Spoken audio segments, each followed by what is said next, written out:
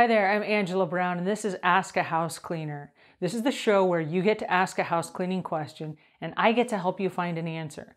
Now, today's question comes from a house cleaner who's just getting started in the business. She's been in high school, and so she doesn't have a body of work. She doesn't have a long resume, and she doesn't have quality equipment. So she's driving an old beater car that her dad gave her when she learned how to drive and she wants to know is this car okay for house cleaning? Okay, so the car that you drive is actually an extension of your business. It's part of your brand. So if you're driving a crappy car, and let's say that the hood is duct taped together and the, the headlight is busted out or something, you need to get that fixed as soon as possible. But you don't want to draw attention to it when you go to bid a job because of, course, the customer is going to know what you drove up in. They looked out and said, Oh, yes, I have an appointment. Someone's coming to bid my house, and I see that they just arrived in a crappy car. So you have to address it, but you don't want to draw unnecessary attention to it. So here's what you do you go in to bid the job, and you say something like, I'm so blessed that you called me over. There are some things I'm improving in my life, and my car is one of those things. So I really appreciate the opportunity to come bid your house so that I can upgrade my life a little bit. That's it. Don't say anything else. Okay. This is not where you explain, well, I was in an accident and I hit a deer and I can't afford the insurance. And well, my dad gave me the car, so the car is free, but I'm not making enough money as a house cleaner to actually buy a new car. Don't go into any of that. Not anyone else's business. All they need to know is that you're aware of it and you're making changes. That's it.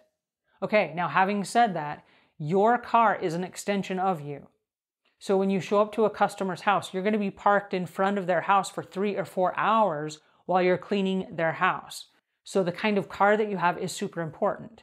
You want a car that says, This is what I do. And I'm really emphatic about this.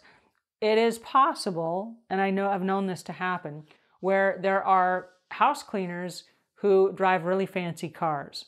Now, the myth is that all house cleaners are broke and they can't afford a nice car, but the truth of the matter is there are house cleaners that are making six figure incomes and they have Mercedes and Lexuses in their driveway.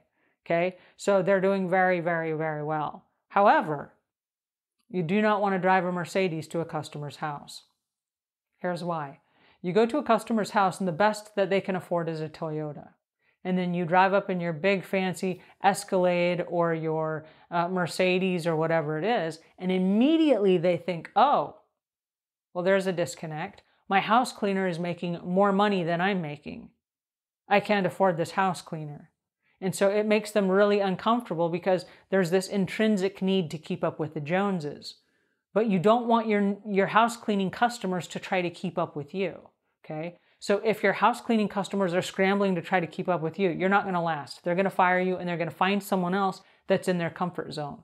So for house cleaning, and this goes against everything we've been taught as far as success goes, because success is equated to having the Lexus and the Mercedes and all these fancy vehicles in our driveway. Leave those cars in your driveway and get a little car that you can use for house cleaning. For me, I've driven a Honda for years. It's an awesome car. It gets great gas mileage, it's reliable, and it fits in with the persona that I'm trying to create. So, I have I have a Honda in my driveway right now. I also have a Mercedes in my driveway, but I have a Honda in my driveway right now. When I go out to do a job, guess which car I take? It's the Honda. Here's the reason why. I want a car that fits in with my company image. It's clean, it's professional, and it's in line with what you would expect from a house cleaner. And that is super important.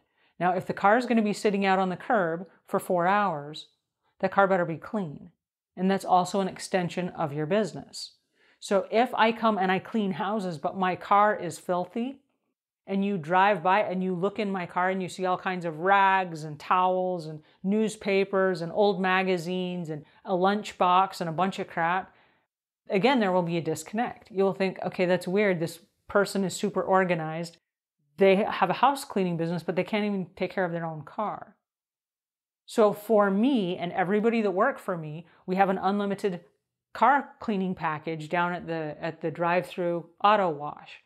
So every day on your way to work or every other day or whenever your car gets dirty. And if you live in the South, there's lots of pollen in the air and there's like this coat of yellow green ick on the top of your car. Go get it clean. Before you go clean somebody's house, go get your car clean.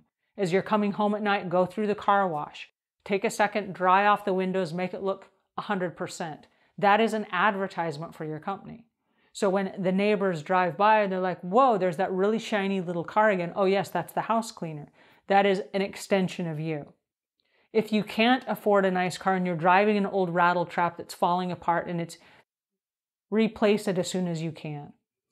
You can go to just about any car dealership and you can get a really nice little car. It doesn't have to be new even.